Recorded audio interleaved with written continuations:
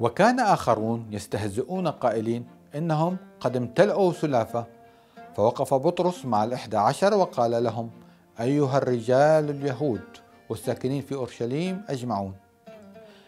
سفر الأعمال الإصحاح 2 الآيات 13 و 14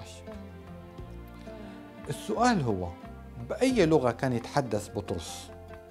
خصوصا أنه كان يخاطب أناس من مختلف اللغات والأجناس. أيضا بالنسبة لي أقدر أشوف تحقيق لنبوءة المسيح بخصوص بطرس.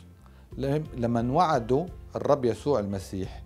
وعد بطرس بأنه حيصير حيصير صياد للناس حسب متى 4 19 هذا يبين بوضوح أن بطرس استغل فرصة تساؤل الناس عن تصرفات المسيحيين وقت حلول الروح القدس عليهم.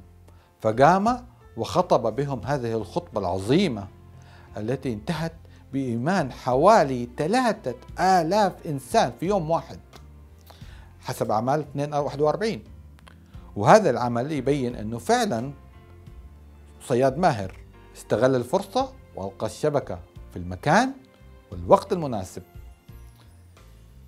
عزيزي المشاهد كيف ممكن يكون شعورك أنت لو جاتك الفرصة واستغليتها بالشكل الصحيح؟ طبعا تكون فرحان.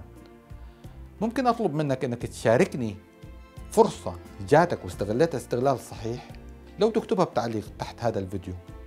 وأنا حكون جدا سعيد عشان أفرح بما فرحك الرب. وتكون أنت أيضا سبب لتفريح الآخرين من أصحابك وأهلك. باركناكم من بيت الرب.